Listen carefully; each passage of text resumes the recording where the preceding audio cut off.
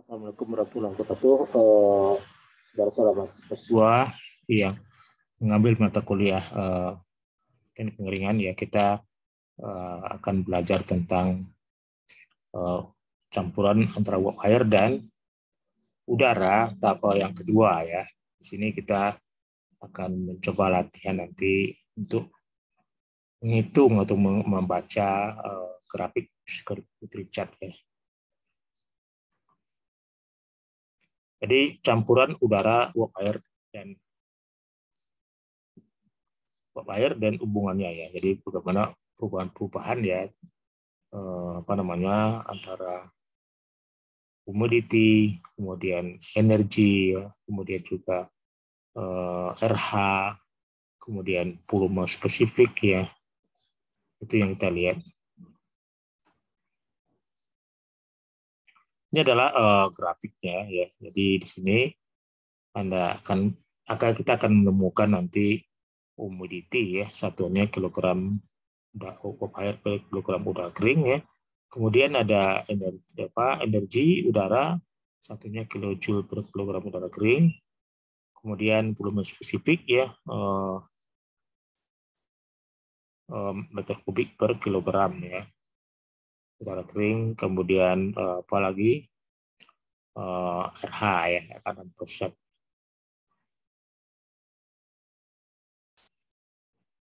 Contoh ya, satu kondisi udara, satu kondisi udara diketahui 80 uh, F, kemudian RH 30 persen. Tentukanlah berapa uap air dalam udara tersebut, di poin, entalpi, temperatur bola basah, mobility, ratio, dan volume lepas.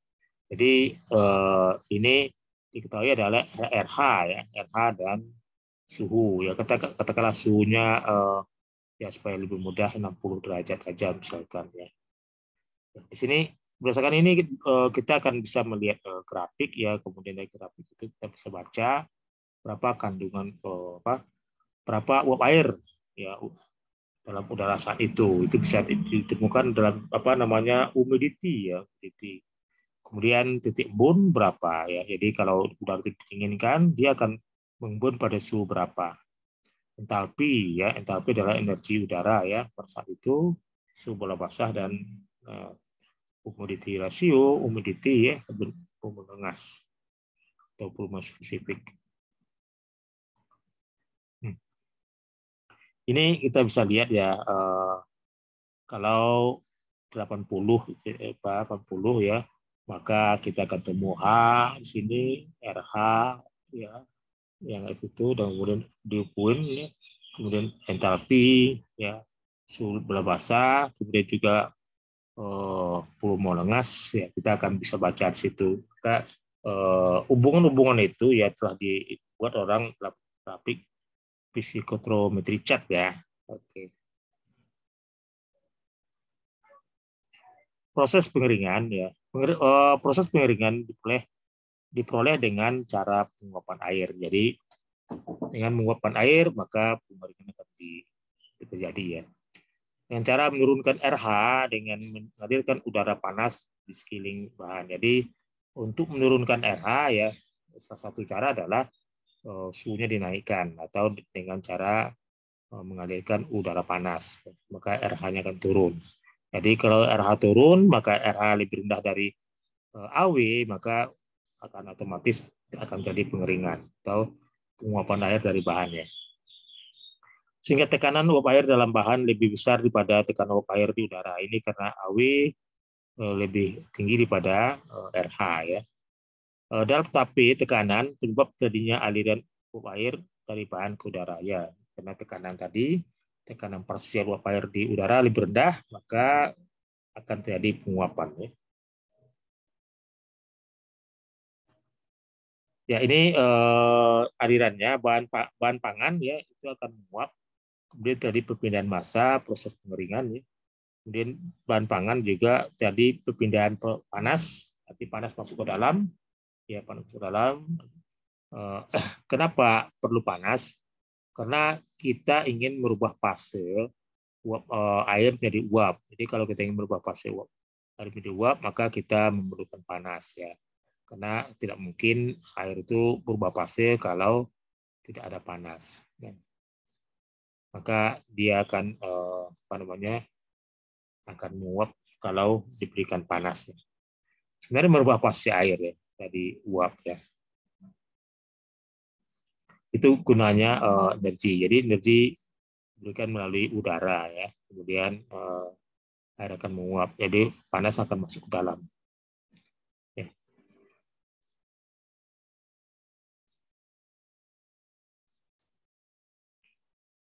Pengeringan terjadi apabila RH ya RH lebih kecil dari AW atau tekanan persiap air di dalam bahan lebih tinggi daripada tekanan persiap air di luar bahan itu di udara ya.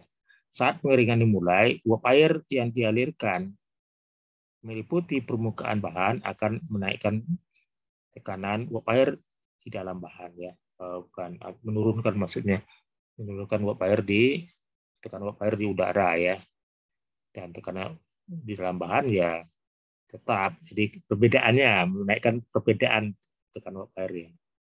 Terutama pada daerah permukaan sejalan dengan kenaikan suhu ya. Eh, kenaikan suhu maka eh, uap air akan dikering maka perbedaannya akan besar. Pada saat itu terjadi perpindahan massa dari bahan ke udara dalam bentuk uap air. Jadi pengeringan pada permukaan bahan. Setelah itu tekanan uap air pada permukaan bahan akan menurun ya. Setelah kenaikan suhu terjadi pada seluruh bagian bahan, maka terjadi pergerakan air secara difusi dari bahan ke permukaan ya, difusi permukaan. Kenapa kalau difusi? Karena konsentrasi air di permukaan mulai menipis, kemudian kecil ya, eh, maka difusi dan juga bisa juga dengan uh, efek kapiler ya. Kapiler uh, dan seterusnya proses penguapan pada permukaan bahan ulang lagi. Akhirnya apa?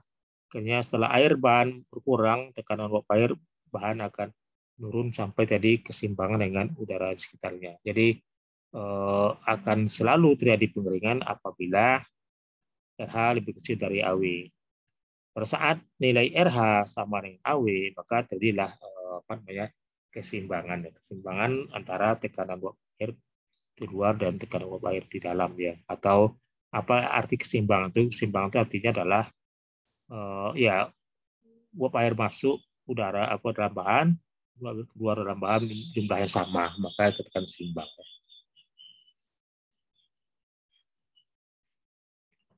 Proses uh, pengeringan pada grafik ya ini uh, kasus ya.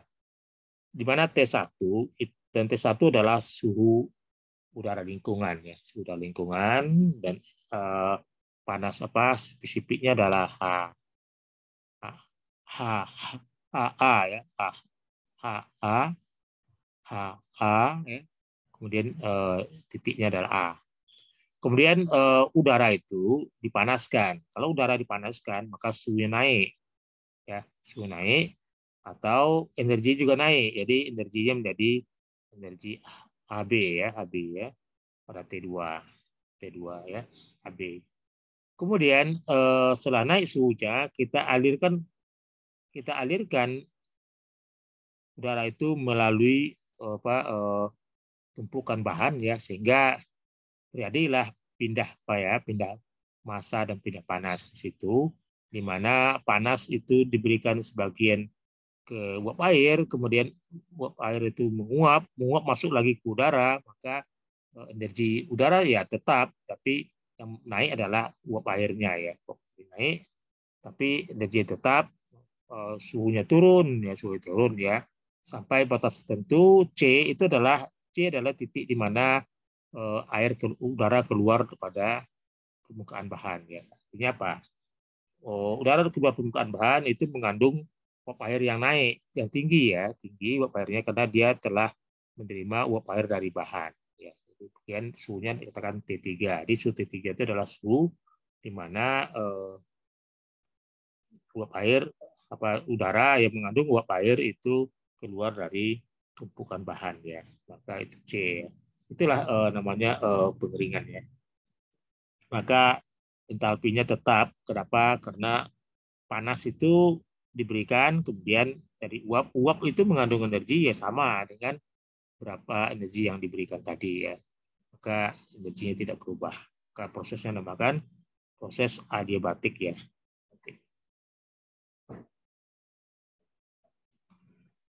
Laju udara laju perpindahan air ke udara. Laju perpindahan air ke udara itu eh, tekan laju ya dan satuan kilogram per jam ya. eh, jumlah air yang keluar dari bahan dan waktu pengeringan sebenarnya laju pengeringan ini eh, ada beberapa cara ya ada dikatakan laju pengeringan rata-rata ya laju pengeringan rata-rata ini kita anggap bahwa apa kadar air awal ya dikurangi kadar air akhir dibagi dengan P itu adalah laju eh, air keluar ya dalam persen ya. Jadi berapa laju dalam persen. Tapi juga ada laju sesaat. Ya. Sesaat adalah eh, berapa eh, penurunan ya penurunan eh, sesaat itu adalah dalam bentuk turunan ya atau perubahan dalam jangka pendek dalam waktu itu dinamakan laju sesaat ya. Jadi saat apa air ya penguapan air dari bahan. Jadi laju ini bisa dikatakan laju rata-rata, kemudian juga laju sesaat ya.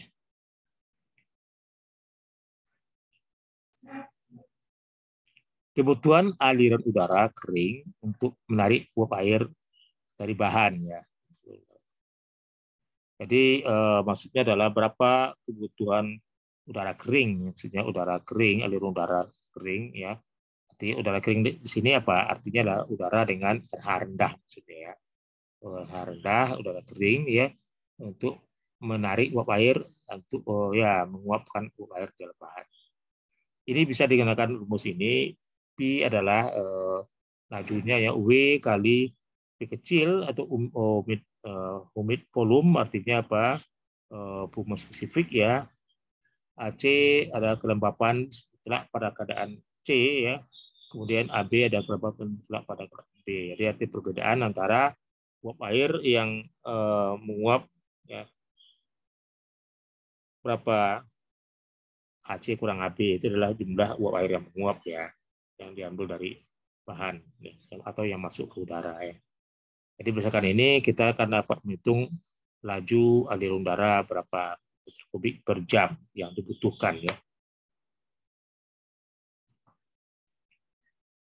Kemudian kebutuhan panas ya ini kebutuhan panas adalah uh, volume aliran udara ya kubik per jam itu ya dikalikan dengan entalpi ya dibagi dengan volume spesifik ya meter kubik per kilogram udara kering. Uh, dengan demikian kita dapat nanti berapa ki panas yang dibutuhkan ya dalam kilokalori ya kalori. Contoh perhitungan dalam sebuah pengeringan udara dimasukkan dalam suhu 60 derajat Celcius, RH 20 udara keluar 45 derajat, RH 30 ya. Tentukanlah berat udara air yang terbawa per kilogram udara kering. Jadi contoh soal yang yang apa namanya yang kita ingin pelajari ya. Udara yang masukkan dengan suhunya 60 kemudian eh, RH-nya 20 persen, keluar RH-nya 30 persen ya. Untuk kalah berat air yang terbawa. Ya, ini seperti ini ya. Uh, eh, 20 persen, kemudian uh, 30 persen, maka jadi perbedaannya apa? Perbedaannya 0,2 kg udara kering. Perbedaan artinya udara yang yang apa yang terbawa oleh uh, ya udara uap air yang terbawa oleh udara kering dengan 0,02 kg per ya ya kilogram per kilogram udara kering ya ya bahan pangan sebanyak 5 ton dikeringkan uh, dikeringkan dengan kadar air 60% menjadi 10% bahan ya, bersih basah dalam satu alat pengering bak sederhana ya. Suhu udara luar 30% dan RH ya, 30 derajat maksudnya, RH 70%, suhu udara pengering 60 derajat dan suhu udara yang keluar dari pengeringan dari 35 derajat. Berapakah kecepatan udara masuk supaya pengeringan dapat diselesaikan dalam waktu 10 jam. Jadi misalkan eh, pengeringan eh, waktunya 10 jam. Ya. Sebenarnya eh, tidak bisa juga ya. Eh, uap yang keluar dari bahan itu sangat tergantung juga dengan sifat bahan. Jadi kita tidak bisa eh, mentarget 10 jam itu ya tadi kita mau apa, memberikan panas yang tidak terbatas ya. Berapa jumlah energi yang dibutuhkan untuk proses pengeringan tersebut ya. Kita uh, coba hitung ya. Jadi kita akan dapat apa? Uh, dapat ya x per x tambah 2 uh, sama dengan 0,1 dengan demikian x sama dengan 0,1 x 0,2 ya. Jadi dengan demikian X sama dengan 0,22 eh, ton. Artinya apa? Air yang diuapkan adalah 0,2 ton kalau kondisi seperti itu ya. Di uh, kendaraan 60 persen ya, 10 persen, maka akan terjadi penguapan sebanyak 0,22 ton. Jumlah air yang keluar maka 0,3 ton jadi 0, dikurang 0,22 ton maka menjadi 2,77 ton H2O per 1 jam ya. 0,278 ton H2 per jam ya. Jadi adalah sebenarnya itu air yang uh, dikeluarkan. Ya, grafik ya bisa grafik maka uh, ya A1 adalah 7 9 kJ per kilogram, A2 adalah 11 kJ per kilogram. Maka volume spesifiknya adalah 0,93 meter kubik per kilogram per ya. Dengan demikian kita akan dapat nanti eh, ya kecepatan udara masuk ya. Jadi eh, sama dengan 0,3 ton A2 per jam ya atau 3 kg A2 per jam ya. Dan demikian kita dapat menghitung eh, berapa laju ya laju udara udara adalah 278 kg per jam dikalikan 0,93 kubik per kilogram per detik ya dibagi dengan uh, umidity-nya adalah 0,95 dibagi 0,19 ya kita dapat nanti nilainya adalah 24663 per jam atau setara dengan 410 meter per menit. Jadi banyaknya uh, uap air yang di, apa, udara yang dihadirkan adalah sebanyak 410 meter kubik per menit ya. Itu uh, apa namanya cara menghitung ya, menghitung atau menggunakan tabel uap ya dalam uh, tabel, tabel psikometri dalam menghitung atau menduga berapa kebutuhan udara ya dan berapa debit udara yang harus dihadirkan Eh, untuk mengeringkan selama 10 jam ya. Uh, ya uh, grafik uh, psikometri chat ini ya uh, grafik psikometri chat ini ya perlu ya bagi orang yang ingin yang tertarik di bidang pengeringan. Kenapa? Karena di situ kita bisa menduga ya, memperkirakan yang jelas bisa memperkirakan berapa bagaimana kondisi udara saat itu ya udara kemudian kita lakukan pengeringannya. Jadi dengan cara demikian kita bisa uh, mengeringkan suatu produk ya bisa lebih baik dan bisa bisa menghitung ya menghitung berapa uh, kebutuhan udara dan berapa ya uh, debit udara yang dibutuhkan dan berapa panas yang harus diberikan ya eh, dalam pengeringan ya. Jadi dengan demikian ya kita juga sebenarnya eh, berdasarkan debit ini kita juga akan tahu berapa eh, energi kipas yang dibutuhkan ya.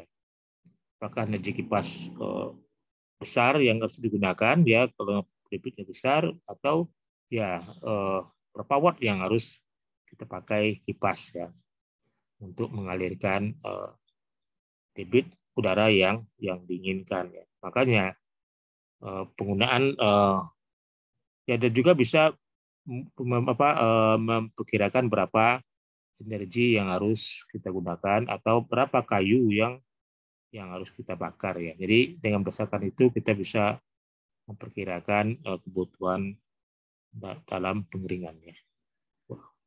Ya cukup sampai sini ya. Terima kasih. Saya akhiri. Assalamualaikum warahmatullahi wabarakatuh.